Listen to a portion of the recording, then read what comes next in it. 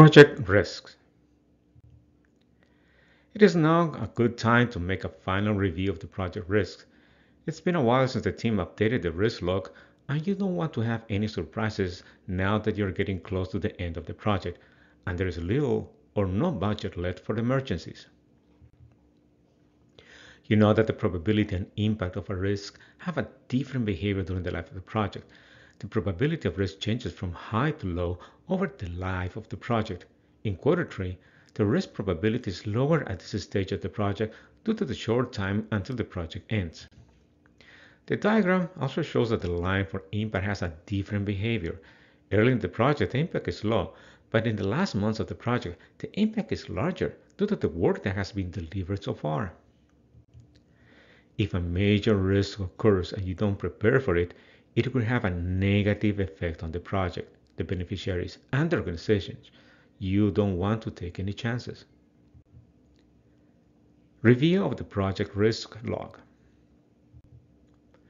You decide to review the project risk log. This is a standard log that contains information to help prioritize risk and identify the budget contingency reserve. The team is familiar with the process, and last time it was used, the team did a good job in identifying, analyzing, and quantifying risks. They also did a good job in implementing the contingency actions to reduce the impact of the risk on the project. The risk log has four entries. Two risks has been marked as completed. These are the risks identified in the past quarter and due to the actions taken by the team, you know that the risk index in both have changed, but there might be even some residual risks. Two risks are new and they are marked as submitted, and they need an analysis and assessment of the risk levels of probability and impact, selection of the strategy, assignment of a risk owner, and an estimate for the risk contingency budget. Along with the risk log, the project uses a second table to calculate the risk contingency budget. This is the amount of money it will cost the project if a risk occurs.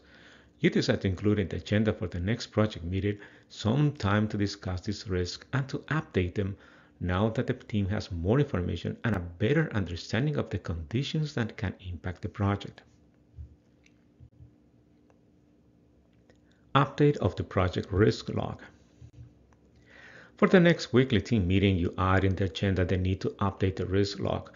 You ask the team members to bring with them any information that will help in this review. You want a review of the current risk in the log and include any new risks they think can occur in the project during the next and last month. During the meeting, you explain the need to review the current risk log and get new estimates for the residual risks. Those are the risks that are expected to remain after the planned response of a risk has been taken. The team agrees to review the two risks in the log and make updates on the levels of impact and probability for the residual risks.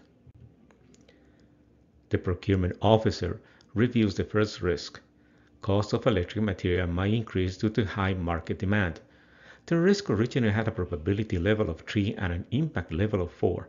The risk index was 12 and the actions identified to mitigate the risk were to purchase from different vendors.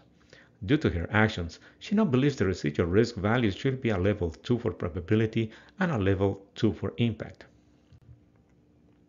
The architect reviews the second risk. The risk originally had a probability of level of 4 and an impact level of 4. The risk index was 16 and the actions identified to mitigate the risk were to review the design changes to estimate impact on the schedule. After he completed the review, he now believes the risk residual values should be a level 2 for probability and an impact level of 1. Assessment of new risks. During the meeting, you ask them to help in the assessment of the new risk in the log. This action is needed to develop the necessary strategies to mitigate their impact on the project.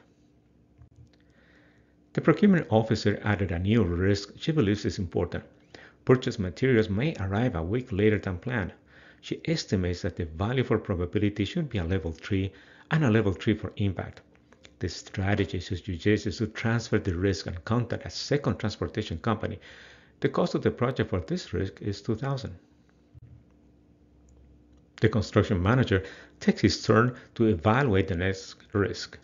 Permit for electric installation might not be approved on time. He estimates that the value for probability should be a level 4 and a level 5 for impact. The strategy he feels should be used in this case is to avoid the risk by submitting the permit paperwork and the payment ahead of time. The cost of the project for this risk is 2000 You thank the team and take notes of the information they gave you. You will now update the risk log by changing the risk values for the initial two risks and add two new risks to the log. You also need to update the risk contingency budget.